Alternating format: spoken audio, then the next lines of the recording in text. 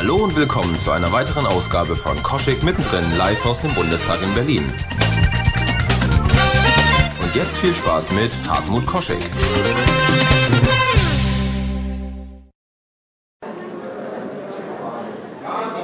Die Bundesregierung unter Bundeskanzlerin Angela Merkel hat sich seit ihrem Amtsantritt die Verstärkung der Förderung von Forschung und Entwicklung zu einer Schwerpunktaufgabe der Regierungspolitik gemacht. Das hängt auch damit zusammen, dass unsere Bundeskanzlerin als promovierte Physikerin weiß, wie wichtig es ist, in Forschung und Entwicklung und damit in Zukunft zu investieren.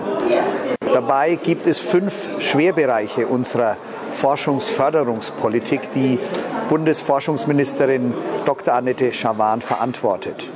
Wir wollen Forschung und Entwicklung in Deutschland stärken, vor allem in den Bereichen Klima, Energie, Gesundheit, Sicherheit und Mobilität.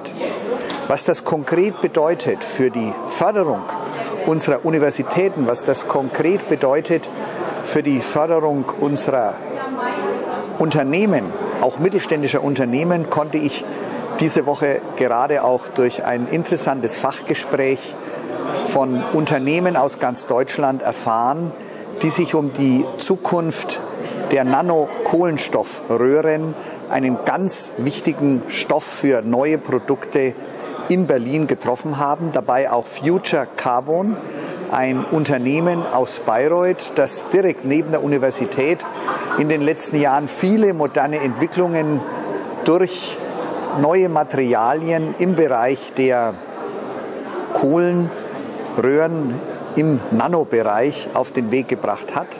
Da gibt es neue wichtige Produkte, zum Beispiel für die Innenausstattung von Automobilen.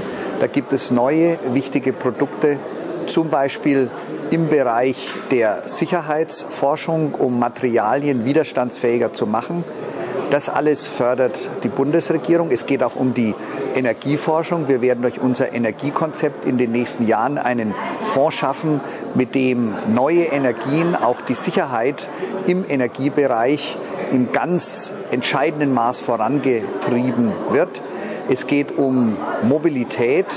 Wir wollen in Deutschland und in Europa die Nase vorn haben, wenn die Automobilantriebssysteme der Zukunft erforscht und entwickelt werden. Stichwort Elektromobilität.